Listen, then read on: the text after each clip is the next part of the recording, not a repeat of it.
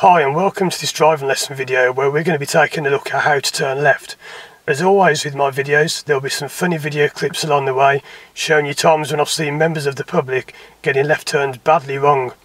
Now we're going to start off with a quick theory element where I'll be talking for 5 to 10 minutes about the theory behind turning left.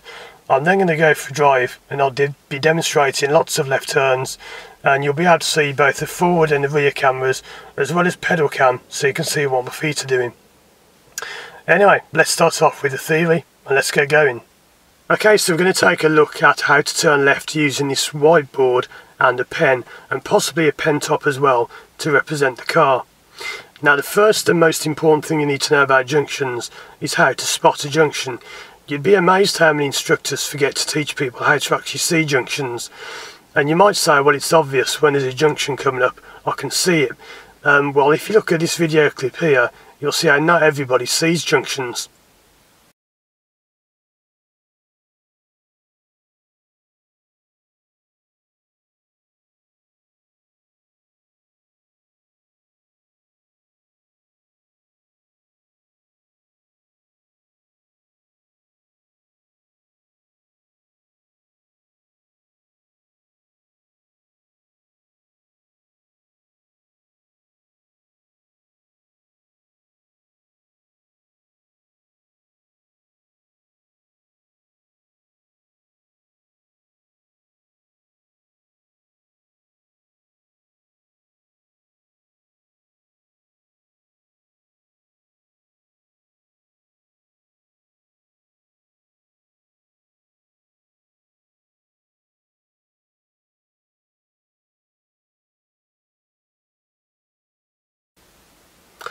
Okay, so how do you avoid that happening to you?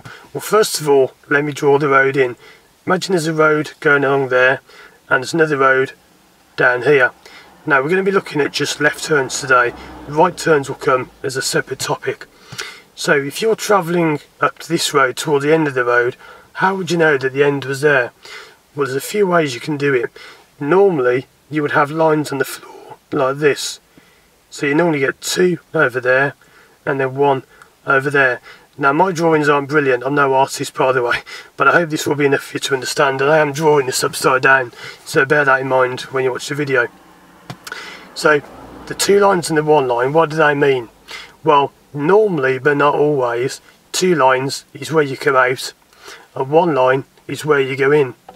So two lines normally mean give way. Now I'm saying normally because there are always exceptions to any rule. You can never say always do this, always do that but normally that's what I mean.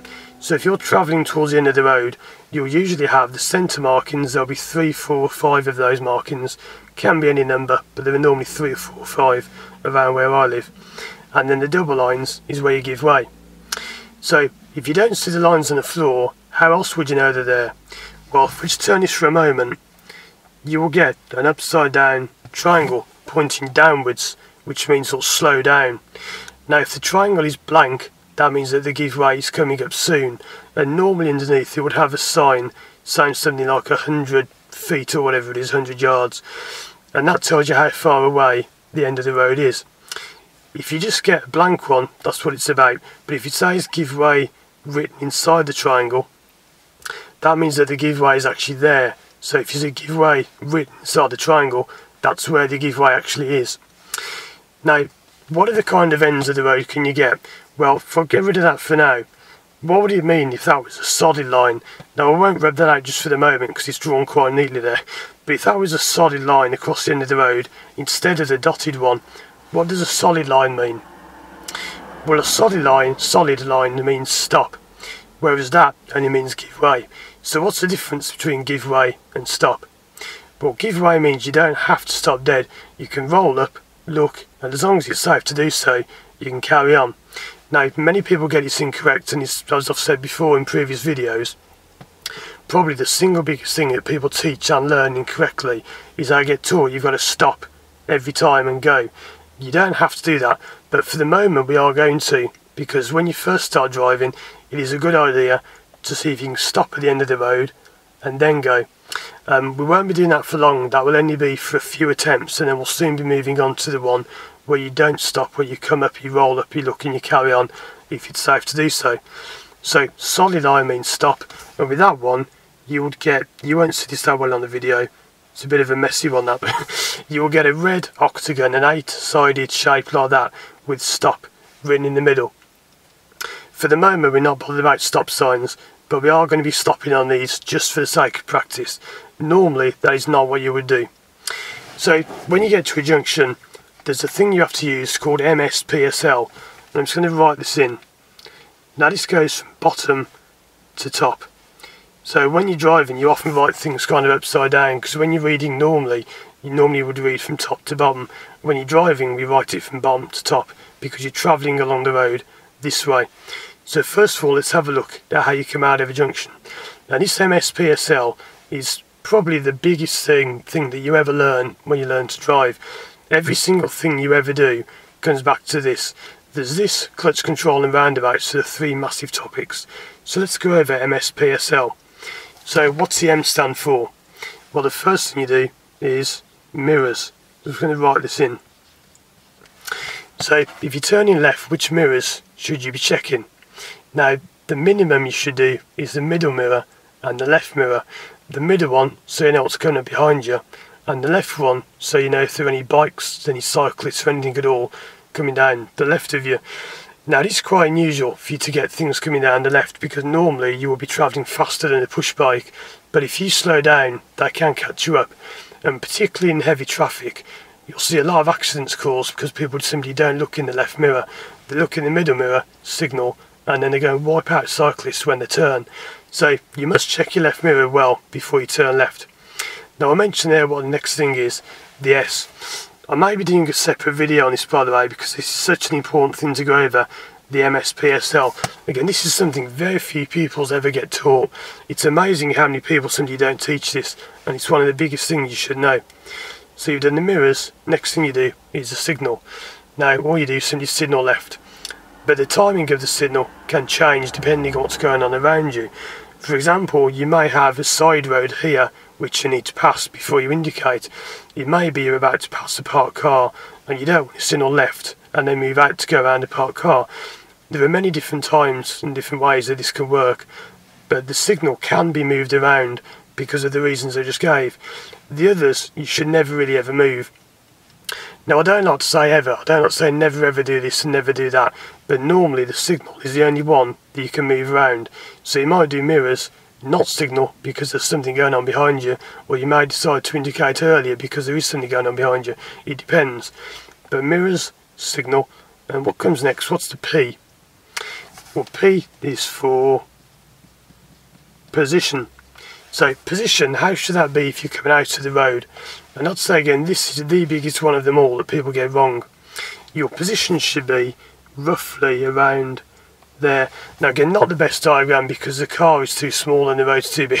It's not meant to be to scale. I will be doing this myself in a moment and I'll be driving around and showing you this. Position is vital. It should be so that when you pull up at the end of the road, you should already be facing left so that when you move off you don't have to steer a lot. I always do this thing with my pupils called steer and then gear. Many pupils have this thing where they're desperately trying to change gear round here. You don't need to be changing gear there. You can leave the gear till the end. For the moment, remember, we are going to be stopping on the giveaway lines, which you wouldn't normally do, but we are for now. So position is important. Imagine if you get to the end of the road and your position is wrong, then you're stuck. If you position there you may be forced into having to turn right because you can't just suddenly change your position. If your gear is wrong, you can easily just go from, let's say 3 down to 1. You can change the gear easily. You can't change your position that easily. So position comes before the gear, which comes in with speed. Okay, so speed is all about how fast you emerge from a junction. Now, for the moment, we're going to be stopping on all these. So the speed is going to be zero, which is going to be stopping dead. Maybe applying the handbrake, maybe not, and coming down into first gear. The last thing you do is look. Now that might sound obvious, but you'd be amazed how many people don't look at junctions, a bit like the person shown in this video clip. Where you're going to see somebody in a moment who comes flying out of a junction and they don't even seem to see us because I haven't bothered looking And then what made me laugh about this one is they open their window and start shouting at us about, oh, bloody learners, you don't know what you're doing. it's completely their fault. Just watch what happens in this video. We're going down the road and a car comes flying out of a junction, doesn't look, and then opens the window and shouts at us. If you're emerging onto a road and there's a vehicle here, you have to see that vehicle and give way. You're coming out of the road, this vehicle is already on the road.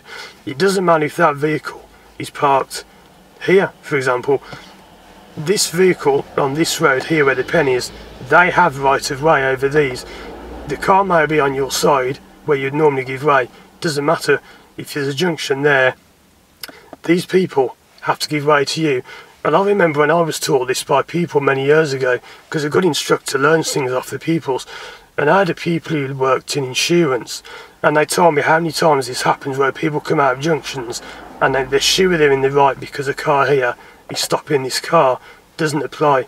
If you're at the give way, you must give way to anyone on this road, even if they're driving down the wrong side of the road. Anyway, have a look at the video clip and then we'll come back.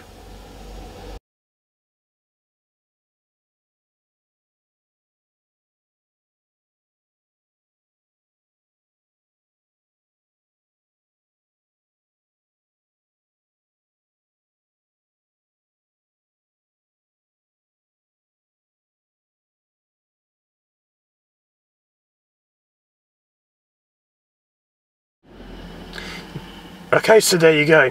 So this is just a brief overview. Now, as I always say in these videos, these videos are not meant to replace driving lessons. These are to supplement your driving lessons with me. So if you're taking lessons with me, you can watch this back and you might think, oh yeah, I remember him saying that on lessons. I'm not covering every single last point I could because I could go on for ages and ages talking about this. But let's have a quick look at how to turn into a road and then we'll get moving. So turning into a road from there, very similar. You do the mirrors, middle mirror, left mirror, left signal as and when needed. Position should be about a metre from the curb depending on the width of the road. Speed should be down to about 10 miles an hour roughly in second gear. And a good way of doing this is when you're new, try and make it so they're about there. Now that's about, I don't know, three or three, four, five metres from the turn. You should have everything done by about there. So the gears are done, your feet are off the pedals, you're just cruising around the corner just to give you a feel of, um, of how to steer. Steering is one of the main things people have trouble with with this, and I will be going over that when you watch me driving in a moment. And then of course you look around the corner for any um, any cars that are parked there. The looking before, by the way, I didn't fully explain. When you get here, you should look a minimum of three times.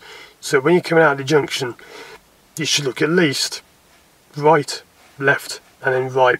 So you're looking what's coming on the approach, if there are any vehicles parked here, and then looking at what's coming down the road again.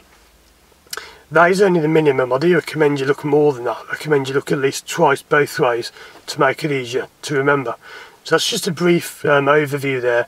I'm now going to move the cameras around and let's get some driving done because theory is great but we need to put the theory into practice now. So let's get driving. Okay, so we're back. I just had to move the car forward a little bit because the bus pulled up opposite me and was blocking the road. So I've just moved the car forward and now we're going to go look at some left turns. Okay, so off we go. So I'm going to be doing going in and coming out of left turns in a moment. So first thing I'm going to do is get towards where the corner is. Now this corner you can see on the left in the distance just coming up. So I'll do my middle mirror, my left mirror and then signal left about now. I brake just a little bit when the engine starts to struggle, just before it struggles, clutch down two, pedals off, turn, feeding the wheel through your hands. Now again, this is a huge topic which takes a long time to go over. Same again now, mirrors, signal, brake just about this time, because I'm not going to stop or change gear, and off we go. Now by the time you do corners like this you should already have a full understanding of the pedals about the brake and the clutch and the clutch and the brake. I've spoken about that before in other videos about the order that you should do the pedals in. Um, so yeah, that kind of stuff should be second nature by now. Uh, as this kind of given way kind of thing should be something you've practiced before when you start doing left turns. It depends on where you are and you know the order that you're learning. So at the end of the road, when I go left again, so obviously the markings on the floor, I do mirrors, signal, brake, clutch.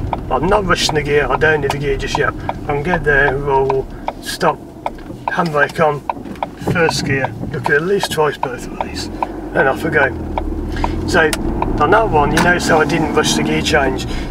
This is like one of the biggest faults that people make is they rush the gear changes and they're trying to get down to one. Now if I pull up on the left here, Now because I can't stand well behind me. I'll go brake, clutch down. You do not have to come down the gear immediately. Now, I'll mention this again because it's something I know people will mention. Um, coasting, what is coasting? Coasting is when you have the clutch held down when you're driving, but there are some times when coasting is necessary. You have to coast, otherwise you couldn't drive. If you, if you never ever coast, how would you change gear? Because you've got to have the clutch down to change gear. Um, people have this thing about you've got to come down the gears in order. You don't. That's a very, very old fashioned way of learning. And if you're being taught to come down the gears in order, um, that isn't, it's not wrong, but it's not the best way of doing it. You don't have to do that. So if I move off now and show you some more examples of this. When I get towards the end of the road, just notice how I don't rush the gears. There's no need to rush them at all. So I'll do my mirrors, I'll signal, brake. I don't need to rush it. Brake, brake, get there. Then I come down to two, off we go remember the gears are for when you want to go forwards. So if you don't want to go forwards at that particular point, there's no point in getting the gear done. Imagine if I come around this bend now and there's a car coming towards me on the wrong side of the road. There isn't, but imagine there was. Clutch, wait, on, okay. There's no rush. Try not to rush it when you do these turns because many people just try and do it so fast to begin with.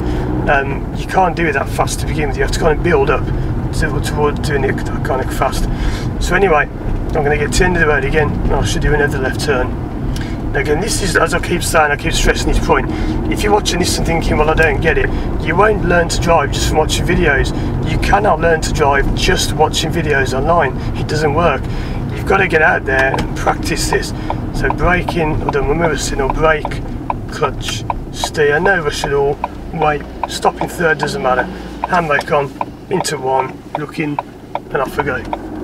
So yeah, um, this is mainly meant for pupils of mine, this video, who want to kind of recap on what we said. Um, if you're watching this thinking, well I don't get it, I don't know how to turn left, you need to get out in the car and practice, but this is the theory of how you should actually do it.